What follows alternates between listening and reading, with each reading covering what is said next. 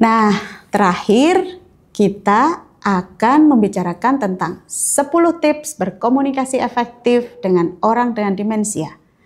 Yang pertama, lebih baik kita menyetujui atau mengiyakan daripada berbantah-bantahan. Ya, ini nih yang sering kali kita kelewat. Misalnya, ibu bilang, saya belum makan dari kemarin. Kita langsung menyanggah. Ibu belum makan, ibu sudah makan loh dari tadi itu piringnya saja masih. Nah, daripada berbantahan seperti itu, lebih baik kita menyetujui atau mengiyakan. Oh, ibu belum makan ya? Ibu mau makan lagi? Ibu lapar? Ya. Kemudian lebih baik kita alihkan perhatiannya daripada memberikan alasan. Misalnya, sering kali orang dengan demensia, ibu pengen pulang, ibu pengen pulang, gitu. Kemudian kita coba alihkan perhatiannya. Oh, Mengapa ibu pengen pulang? Ibu kangen ya sama bapak. Nah, kita alihkan pembicaraannya. Yang ketiga, pindahkan topik pembicaraan daripada dipermalukan. Misalnya, ODD-nya sedang ngomongin tentang, eh saya itu dari kemarin belum dikasih makan loh sama anak saya. Nah, tidak perlu kita langsung marah dan mempermalukan. Ah, ibu aja itu yang lupa bilang tidak diberi makan gitu ya. Padahal sebenarnya ibu makan. Lebih baik kita pindahkan topik pembicaraannya. Oh, ibu tuh sukanya makan pecel ya sama gado-gado. Tadi sudah makan pecel ya bu ya. Gitu. Kita pindahkan topik pembicaraannya.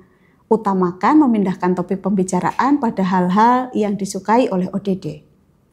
Nah, yang keempat, lebih baik memastikan daripada menggurui. Misalnya, ibu bilang, bapakmu mana ya? Kok nggak kelihatan dari kemarin? Gitu. Nah, padahal sebenarnya bapak sudah meninggal. Jadi lebih baik kita pastikan. Oh, ibu kangen ya sama bapak. Ibu pengen ketemu bapak. Gitu. Nah, yang kelima, lebih baik ajak bernostalgia masa lalu daripada menggunakan kata ingat ya bu. Gitu. Misalnya, tadi ibu nyariin bapak ya. Kemudian kita bilang, Bu, ingat ya Bu, Bapak itu sudah meninggal tahun kemarin. Daripada menggunakan kata seperti itu, lebih baik kita ajak ibu bernostalgia ke masa lalu. Misalnya kita bilang, oh sore-sore gini biasanya kalau bapak ngapain ya bu ya? Nyiramin tanaman ya bu? Kita ajak bernostalgia tentang masa lalu bapak seperti apa. Itu akan lebih baik buat mereka. Yang keenam, lebih baik kita mengulang kembali yang pernah dikatakan daripada kita bilang sudah saya beritahu, ingat ya Bu. Nah, lebih baik diulang kembali. Oh, Ibu mencari Bapak. Ya, jadi tidak perlu kita mengoreksi ingatan ODD yang mungkin itulah hal yang sangat dia yakini. Nah, yang berikutnya berikan kesempatan untuk ODD melakukan apa yang diinginkan daripada kita larang-larang. Misalnya ODD sering kali minta pulang ya. Mereka bilang, saya mau pulang, saya mau ke rumah. Gitu. Nah daripada kita larang, kenapa ibu harus pulang? Ibu tuh ada di rumah ibu sendiri, mau ngapain pulang ke rumah? Nah daripada seperti itu, lebih baik, oh ibu pengen keluar, pengen jalan. Nah itu akan lebih baik. Yang kedelapan, minta ODD melakukan sesuatu dengan cara mencontohkan. Nah, daripada kita memberikan perintah-perintah, itu akan lebih mudah ketika kita contohkan saja. Misalnya, ODD-nya mau minum dari botol, dia bingung, ini botol diapain ya?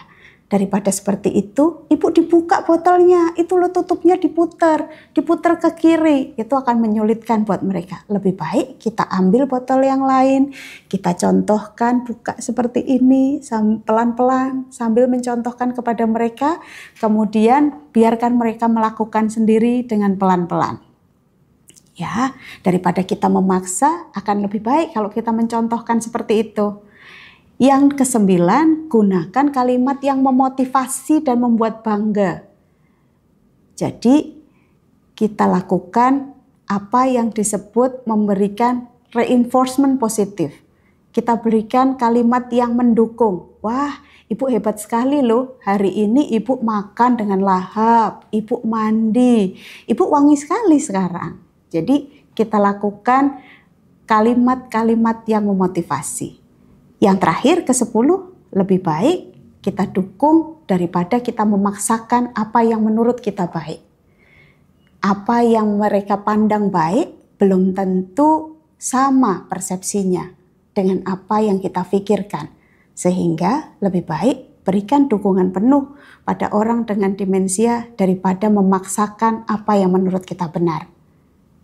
Nah, terakhir kita akan ada video nih dari Kak Liana, seorang caregiver, tentang memahami komunikasi pada orang dengan demensia yang sudah tahap lanjut.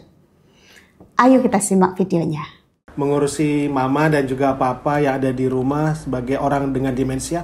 Tapi katanya punya trik-trik komunikasi. Emang kondisinya mama udah nggak uh, berkomunikasi uh, verbal gitu atau gimana? Iya, uh, uh, jadi uh, kebetulan mama sudah mute ya, lebih ke diem. Jadi nggak 99% nggak ada keluar kata dari mulutnya gitu. Jadi kita harus kita caregivernya jadi harus membaca gestur mimik gitu. Jadi kayak misalnya kalau dia lagi memang mungkin moodnya enak nanti dia bisa kayak senyum kayak naik sedikit gitu senyumnya bibirnya terus nanti kalau dia kayak setuju gitu apa yang kita omongin nanti dia kayak alisnya naik-naik satu gitu gitu. Jadi susah praktekinnya tapi misalnya nah, bisa alisnya tuh kayak naik satu gitu matanya gitu. Terus kalau misalnya dia lagi kurang enak misalnya lagi marah sebenarnya matanya bisa melotot balik ke kita gitu. Jadi itu kita tahu bahwa dia tuh lagi nggak ada yang dia nggak suka gitu atau ini yang paling seru kalau lagi dia mau BAB sebenarnya.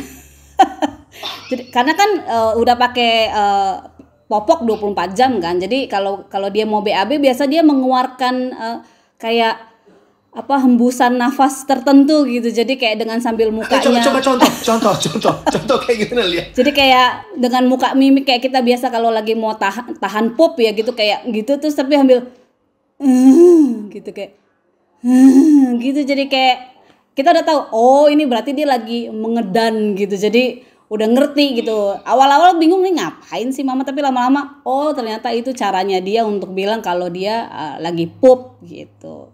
Ya jadi akhirnya mengandalkan itu kok karena kan nggak udah nggak bisa berkomunikasi secara kata-kata lagi ya. Diksinya udah betul-betul sangat terbatas. Pikun bukanlah proses normal dari penuaan. Jangan maklum dengan pikun